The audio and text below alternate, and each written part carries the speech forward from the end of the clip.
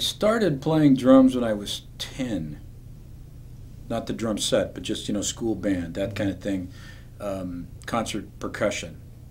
And the fir- my first experience with the actual drum set was when I was 15 years old. And I was in the school band room watching an older kid play.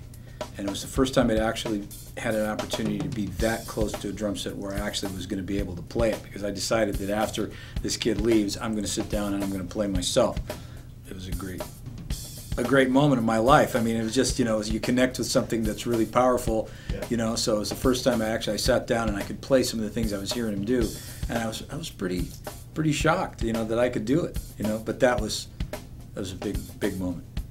The San Francisco Bay Area that was like ground zero for you know all of the you know social revolution and all this other stuff. So it was really reflected in the way that people lived their lives. It was reflected in the music, especially, you know, and everything was in upheaval. You know, the, the whole music scene was very experimental. There was Bill Graham, you know, with the Fillmore and all of that.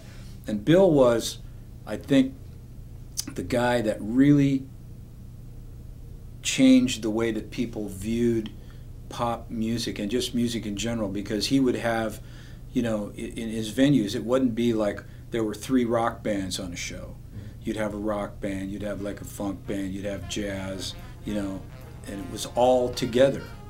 That was never done before. You know, the rock concert as we know it today evolved from what Bill Graham started, you know, there in San Francisco.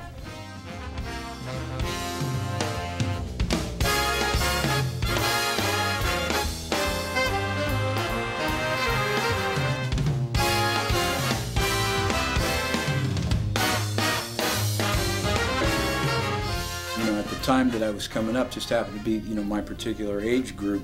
The most credible, you know, thing that you could do, you know, with your art was become a, a, a jazz musician, right? And so it was kind of on the cusp of that moving into the sort of the rock era, and you know, you could start to be in rock bands and make money and all this other stuff. So I decided that I, I wanted to play funk music. When I went to see James Brown for the first time, it was like so deep, such an incredibly powerful experience. You know, I'd never seen anybody play like that. I'd never heard anything like that before, and immediately I started trying to do that. Then you know you hear uh, uh, Zigaboo with the meters, and you know Bernard Purdie, and then there was Tony Williams and Elvin Jones. You know Jake Hanna with Woody Herman and Count Basie, you know, Sonny Payne. And the thing that I liked about all those players that I mentioned was that each one of them had their own sound, their own voice.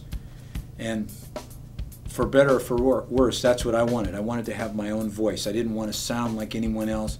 I didn't want to copy anybody. I wanted to have my own thing. So that was kind of an underlying principle in my music life was never copy believe it or not, I was drafted into the Army. And, you know, during that period, if you were drafted, you were going to Vietnam. That's just the way it was.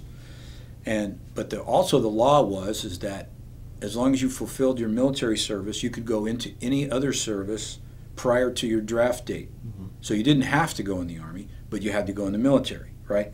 So I enlisted in the Air Force because I just didn't I wasn't interested in going to Vietnam.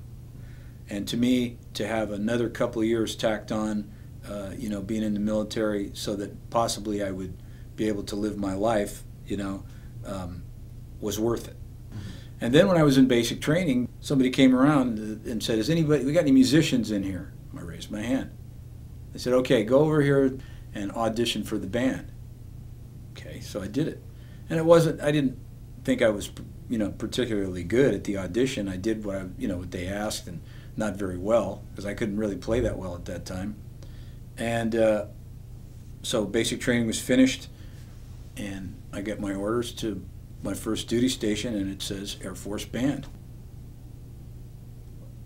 I have friends, you know, who went to Vietnam and still experience trauma in their life as a result of it.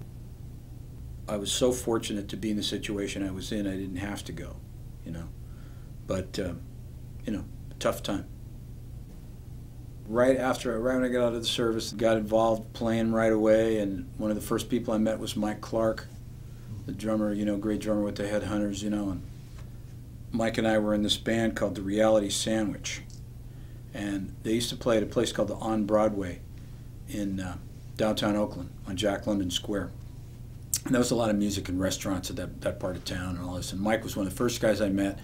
And we sort of got fired in and out of that band. And, you know, that's where I met the guys in the Tower Power. And then after that, Mike got the gig with, with Herbie.